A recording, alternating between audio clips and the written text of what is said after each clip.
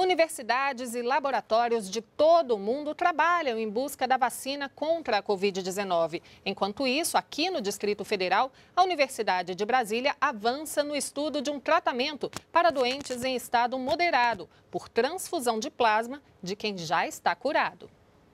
O trabalho desenvolvido pela UNB, em parceria com o Hemocentro de Brasília, pretende comprovar que a transfusão do plasma, a parte líquida do sangue de uma pessoa já curada para outra ainda doente, pode ajudar nessa recuperação.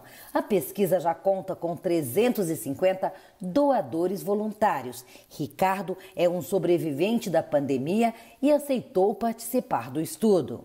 Depois que a gente teve a bênção de sair curado, né? Então a gente tem que pelo menos fazer essa, essa, essa área de doar, se é para fazer uma pesquisa que venha para o bem de todos, né?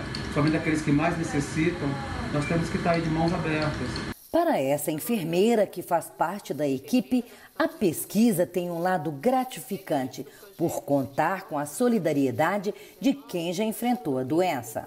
Eu aproveito para agradecer a eles em nome de toda a equipe por estarem ajudando o próximo e ajudando a desenvolver o tratamento e a cura para a doença. Sem a disponibilidade deles, nada disso poderia estar acontecendo.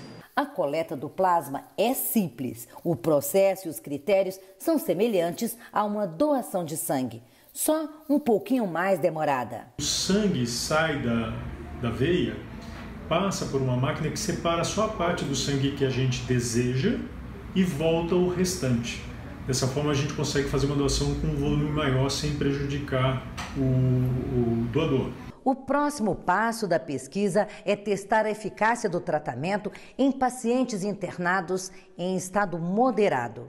A primeira transfusão deve ocorrer nos próximos dias e a expectativa dos pesquisadores é que o plasma com anticorpos do coronavírus possa evitar o agravamento da doença. O nosso plano é recrutar 100 pessoas para o grupo tratado, 100 pessoas para o grupo controle a gente espera que nesse grupo de 100 pessoas, uma proporção menor de daquelas que receberam plasma vão evoluir para formas graves. O estudo também trabalha com a opção de transformar o plasma de infectados em um novo medicamento a ser usado contra o coronavírus.